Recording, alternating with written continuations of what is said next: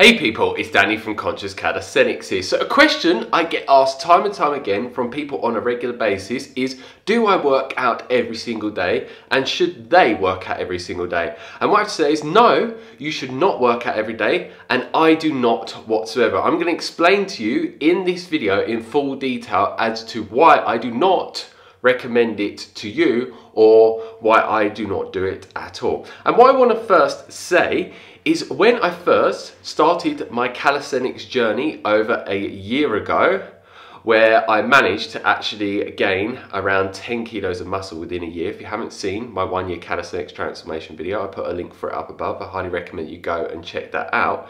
Is that when I first started that journey, I wasn't as knowledgeable and as experienced as I possibly could to optimize my workouts and to do everything that I possibly could do to maximize muscle growth and strength within the shortest period of time.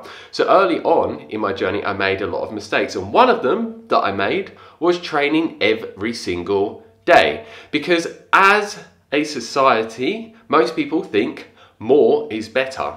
And a lot of time, more isn't better. It's about quality over quantity. So that is just something for you to contemplate and be mindful around. And when I was training every single day, when I look back at it, I was not training hard enough. And I mean training to the point where it is so intense for you to get through the whole workout mentally and physically. So if you are someone that is training every single day, you're more than likely not training hard enough. So what I would recommend to people is not training every single day and training once every other day, which is what I do. You don't necessarily have to do this if you don't want to, but if you want to learn from someone that has actually put something to use consistently and got good results from it, then maybe you should try out what they're doing. There is some people that like to train five days a week, but for me personally, I find that if I was training for consecutive days in a row, I could train very hard on the first day, but then the following days, my strength and stamina, endurance, and energy levels would start to decline. So then it would affect my following workouts in a negative way. So I wouldn't get the best workouts that I possibly could get because I wouldn't be able to go as full out. And this is a mistake a lot of people make. They just train and train and train and train and train. They're not resting and recovering enough. And then a lot of time it can burn out people's nervous system, have a negative effect on their immune system, lower their energy levels, mess up hormone production. And then this will have a serious negative effect on giving you the greatest benefits for helping you go in the direction of achieving the body desire, the fitness levels and the energy levels as well. And I discovered this all through my own personal experience and trial and elimination. And then after quite a while, I started training once every other day. And then I listened to Dorian Yates, which in my opinion was one of the best professional bodybuilders that has ever existed. I absolutely love him. And when I actually listened to him in an interview on London Real quite some time ago and some other different sources, he said that he trained once every other day because he said in his videos there's no way that he could train every single day uh, to the intensity that he was and get the most out of his workout. So yeah, it confirmed to me from my own experience and trying it out and seeing it was working for me that it was a really good thing. And then I learned from Dorian Yates, and that just confirmed it for me again that what I was doing was a really good idea. And I can tell you now, I train people in the gym on a weekly basis, and anyone that I train, they will tell you that the way that I train them is so, so intense and they need that day off the next day to recover. So then the day after that rest day, they can come back and then train full out to the highest intensity possible to give them the benefits that they're looking to gain from the way that they're training. So how can you tell if you're training hard enough? Well, what is a good way to tell if you're training hard enough? From the first exercise, it should be very challenging and hard for you to push through physically and mentally, and your muscles should be burning quite a lot that you are training specifically with that exercise that you're first doing in your whole workout. And after the first workout, you should be breathing very, very heavily while you're resting to go on to the next exercise. And within a short while, you should start sweating quite a bit. And as the workout goes on longer and longer, it should get way more intense you and harder to push through mentally and physically. And at the end of the workout, you should need to sit down for a while just to catch your breath and make your heart rate go down and just start to calm down the nervous system, calm down the body and just be able to compose yourself so you can actually start to get on with the rest of your day. And if you're someone that wants to get an idea of how I personally train and to what intensity, I will put a link up above for a playlist of workout videos of the workouts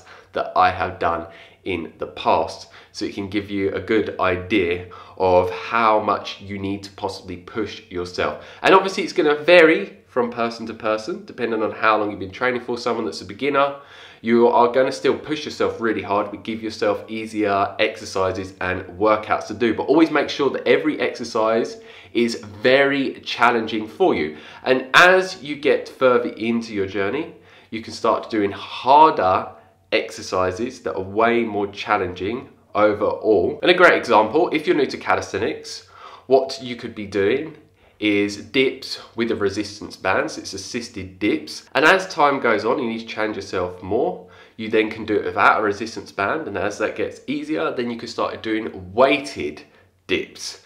So as you can see, all of those are going to be challenging for you and the level that you are currently at. And one last obvious sign that you've trained hard enough is the next day. I find normally for me in the middle of the next following day after the day that I'd trained that the muscles that I've trained, when I touch them or move them, they are hurting a lot.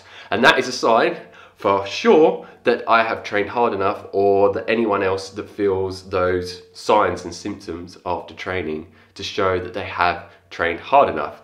So if you're not getting all of these different signs that I've mentioned to see if you're training hard enough, then you need to modify your workout in a way that is challenging you and pushing yourself to your limits physically and mentally so you can get the greatest gains possible short term and long term. And so many people make so many mistakes this on a regular basis.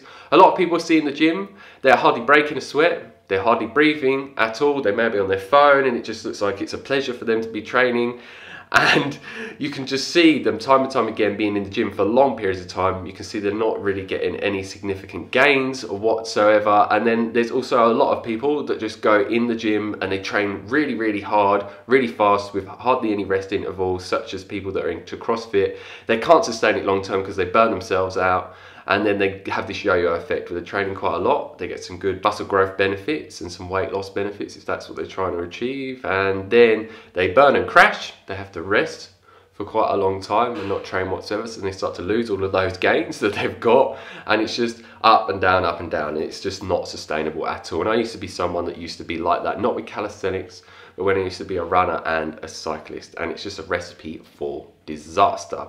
So that's it for this video. If you have any questions, leave them down below. I love answering your questions. I'll get back to you as soon as possible. If you like the video, give us a thumbs up. If you don't, give us a thumbs down. And please share this video with anyone else that you think needs to hear about what I shared with you today in this video as to why you should not be training every single day and what I do not as well. And if you haven't already, click that subscribe button down below to receive a lot more informational videos from me on a regular basis. And the type of informational videos you can expect to get from me are calisthenics informational videos, weight loss videos, general fitness videos, intermittent fasting videos, one meal a day, and what I eat and do in a day videos and all different types of videos to share with you so much of the right information that you can put into place to achieve the body desire, the fitness levels and the energy levels as well. And I also hope that my videos will inspire you and motivate you